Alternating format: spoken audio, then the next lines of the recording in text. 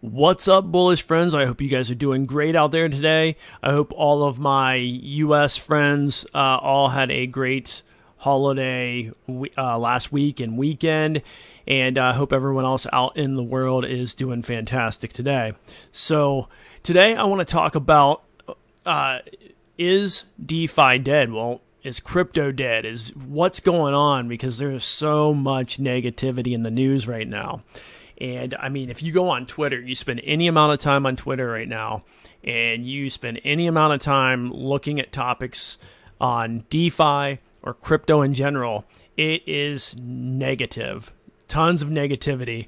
And look, I get it. Like, if you look at uh, the stuff going on with FTX, the stuff going on with BlockFi, and you couple all that in to a long term bear market. I mean, we've been going through this bear market for a while. The sentiment is just at an all time low. I haven't seen it this bad.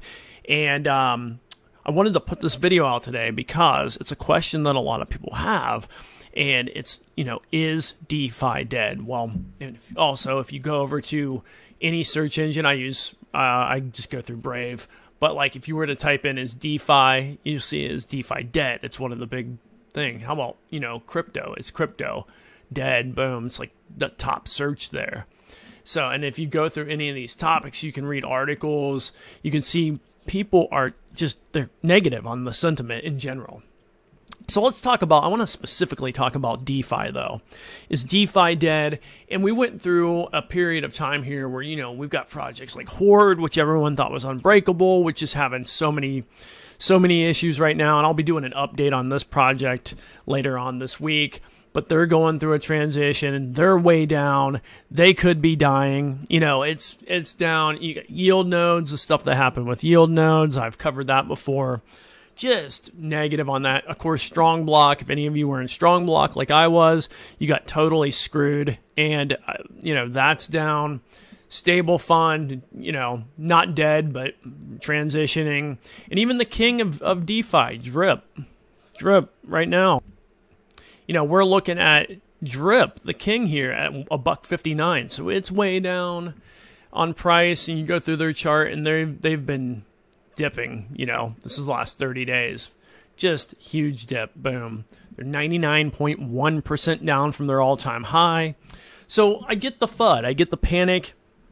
And I'm going to give you my general assessment here. And I'm going to tell you what needs to happen. So I don't think DeFi is dead. I think DeFi actually has a bright future.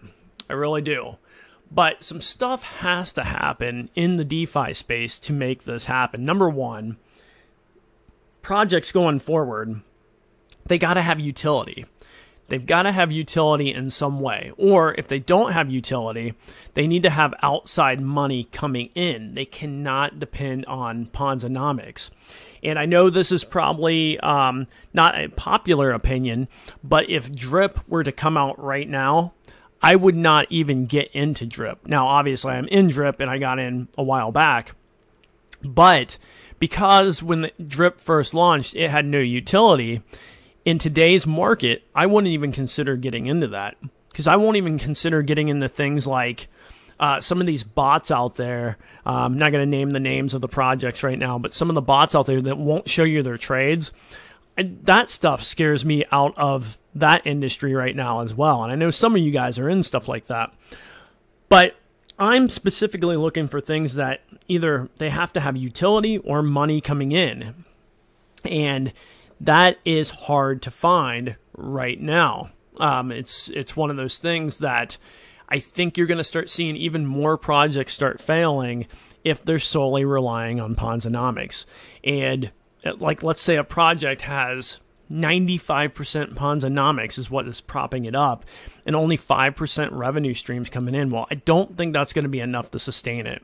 I think there has to be larger revenue sources coming in, or it's just a matter of time before it collapses.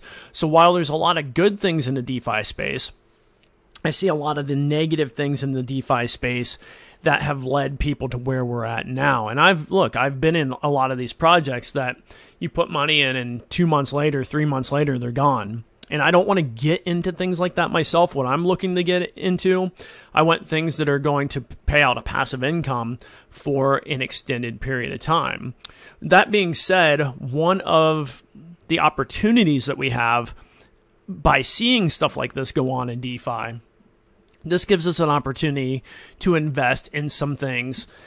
Like um like so I did a video recently showing how I got into Alchemy into ADS, which is a uh, cryptocurrency, and they're looking to change the ad space in the online industry uh, involving crypto, and they actually have some really great stuff, and you can earn uh, passive income on your investments with them right now. You can earn a, a yield back monthly. And while it's not crushing it, that's where I think the problem is in a lot of the DeFi, where they come out and like a lot of the yields will come out and say you, you can earn three to five percent a day. And I think that has to change too. I think it needs to be more of a variable rate because I know, like a lot of you guys out there, if someone were to tell me, well, look, we have this project and the rate that you will make every single day is variable based on the revenue we bring in. So if the project would bring in, like, let's say you might make 0.25% a day instead of 5% a day back on your return, um, I would be more inclined to that, where it would fluctuate between, like, let's say, uh, 0.25% and 0.75% or 1% you know, even 1% is a lot to return on in a day. And I would be more inclined to stick with something like that based on a variable return, based on the profit and the revenue that that particular protocol is making. So that's where I'm at with DeFi. I don't believe it's dead. I think that it's going to go through a transitional phase here. And ultimately, as long as we're in a bear market, the sentiment's going to be negative on DeFi regardless. And, um, you know, I, I, see we need to get back to the bull market to have that positive um, sentiment coming back into the market, number one. But ultimately, a lot of these projects going forward have got to have utility and or a revenue source coming in outside of just new subscribers coming in. Anyway, that's my my take on this, guys. I'm looking for more plays that uh, have those two things, utility and have revenue sources. Let me know what you guys think below. Am I totally wrong here? Are you guys uh, you maybe you have a different idea? Maybe you're maybe maybe you're okay with more of the Ponzonomics side of everything, and um, you're one of the people that say, you know, hey, it's fine. Ponzonomics are great. Just get in early. You know, I know there's a lot of that, but in that, I always see someone left holding the bag. But hey, that's like my opinion. I want to know your opinion, and uh, you guys, as always. Uh, I will see you in the next video and uh, stay safe out there, stay warm, and uh, love you guys. See you in the next video.